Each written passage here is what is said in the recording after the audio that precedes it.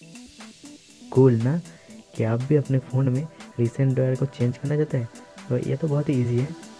तो इसको करने के लिए वीडियो को एंड तक ज़रूर देखते रहिए और चैनल को सब्सक्राइब करके हमारे साथ जुड़े रहिए आगे से ऐसे लेटेस्ट ट्रिक देखने के लिए। तो चलिए वीडियो को शुरू करते हैं। तो इसको करने के लिए सबसे पहले आपको दो एप्लीकेशन डाउनलोड करना पड़ेगा, जिसका लिंक डिस्क्रिप्शन में आपको मिल जाएगा। और उस एप्लीकेशन का नाम है एक है गुड लॉक 2018 और एक है टक्स चेंजर तो डाउनलोड करने के बाद आपको इन दोनों एप्लीकेशन को सिंपली इंस्टॉल करना होगा।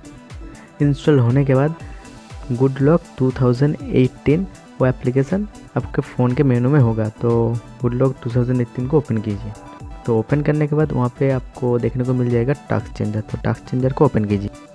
टास्क चेंजर को ओपन करने के बाद ऊपर के कॉर्नर में आपको ये एप्लीकेशन एक्टिवेट करने का एक बटन मिल जाएगा तो इस एप्लीकेशन को एक्टिवेट कर दीजिए। तो मेरे फ़ोन में आप देख सकते हैं, मैंने डीएक्टिवेट करके रखा है और मेरा रिसेंट मेनू ड्रायर देख सकते हैं।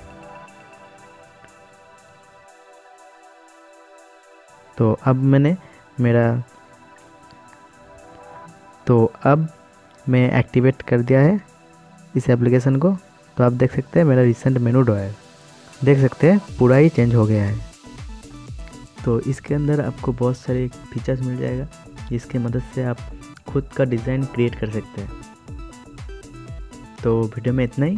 अगर वीडियो अच्छा लगे तो वीडियो को लाइक कीजिए और एक बार चैनल को सब्सक्राइब करना मत भूलना। आगे से ऐसे ट्रिक्स और टिप्स के वीडियो देखने के लिए। सो so, बाय